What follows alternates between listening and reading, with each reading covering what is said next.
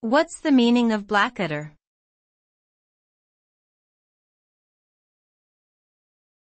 Blackadder.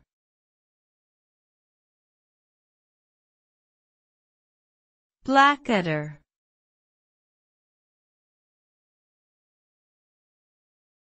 Blackadder.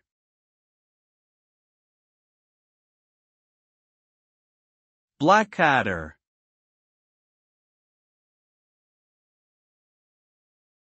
Blackadder is a British television sitcom that first aired in 1983. The show follows the character Edmund Blackadder, a cunning and manipulative anti-hero who lives in various historical periods throughout English history. The name Blackadder is derived from an actual person, Sir Edmund Blackadder, who was a real historical figure during the reign of King Richard III. However, the character in the show is purely fictional. The name Blackadder has since become synonymous with the smart and cynical humor that the show embodies. It is considered a classic of British comedy and has had a lasting influence on popular culture in the UK and beyond.